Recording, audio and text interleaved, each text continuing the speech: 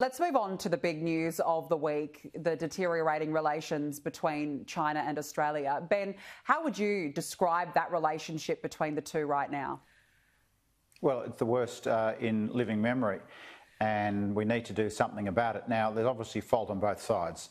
Uh, China is a brutal regime with a terrible human rights record. You don't need to tell people in uh, Tibet or Xinjiang uh, about that, uh, and they also play their foreign affairs in aggressive and assertive manner. We've seen wolf warrior diplomacy.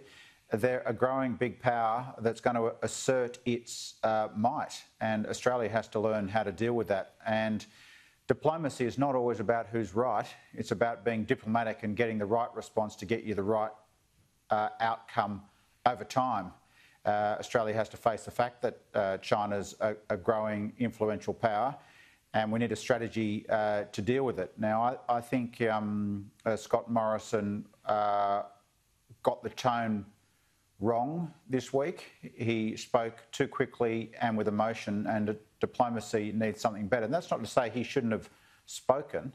Uh, but I think to have held that press conference in the Lodge within 45 minutes of that tweet going up uh, and been angry and emotional about it, probably got the wrong tone right and, and took uh, Beijing's bait. Australia needs a, a, a long term diplomatic strategy to deal with China, and it doesn't look like we've got one at the moment. Mm. Uh, we need a reinvestment in public diplomacy.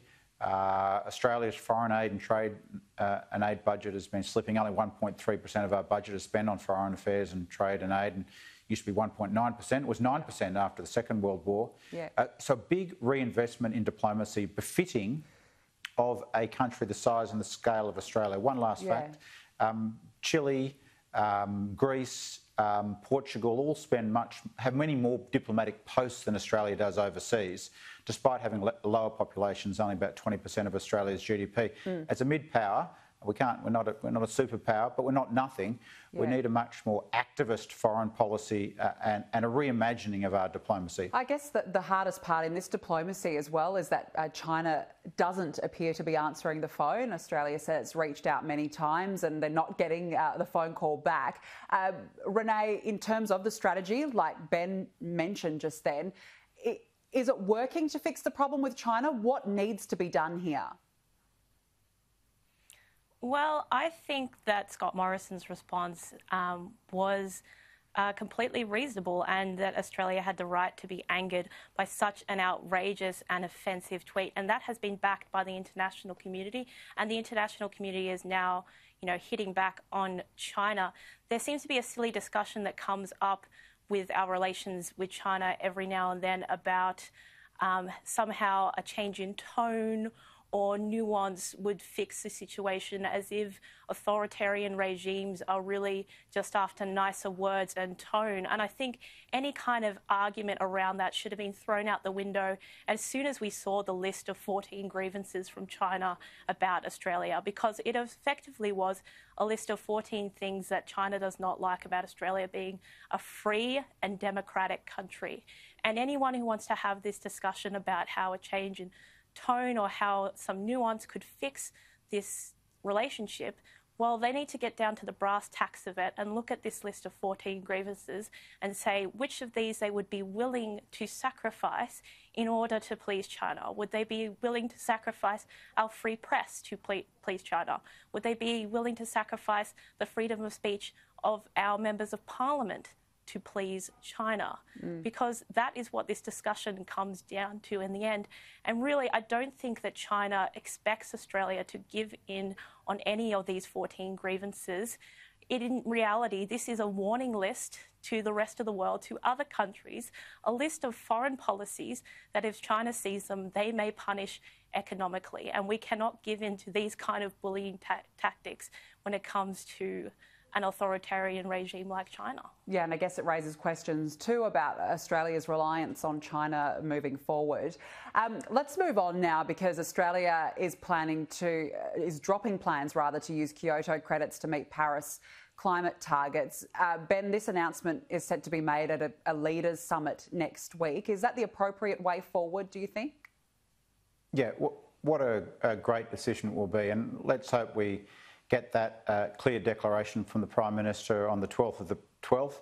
Uh, we were meant to be having the next big international climate summit in Glasgow uh, this month, but it's been deferred by a year. And in a sense, this ambition summit uh, replaces that. And countries are asked to come along with new commitments because the climate crisis is getting worse. And uh, unless there's action, more action from all countries, including Australia, uh, the world is headed for climate catastrophe and the destruction of um, uh, species, um, habitats, um, uh, our economy, uh, our way of life in many places uh, within the lifetimes of, of, many people watching. So, unless uh, new action is taken at that climate summit and, and beyond, uh, the world's going to be a very dangerous place. So, good on Scott Morrison for coming forward and cancelling those dodgy Kyoto credits. There'll be time for criticism of, of, Australia's other policies later on. We're to, all going to have to do a lot more at state and Commonwealth level in Australia and around the world. But uh, congratulations uh, to the Prime Minister uh, for, for dropping those dodgy credits if that's what comes to pass at that Climate Ambition Summit. Renee, your thoughts on this? Is this to be applauded by Scott Morrison, as Ben said? I don't think so. I think Australia needs to be incredibly cautious right now about overly ambitious targets that will hamper the Australian economy, especially now of all times when, as we've already discussed, the Australian economy is at threat due to trade relations with China. The economy is already hurting because of COVID 19.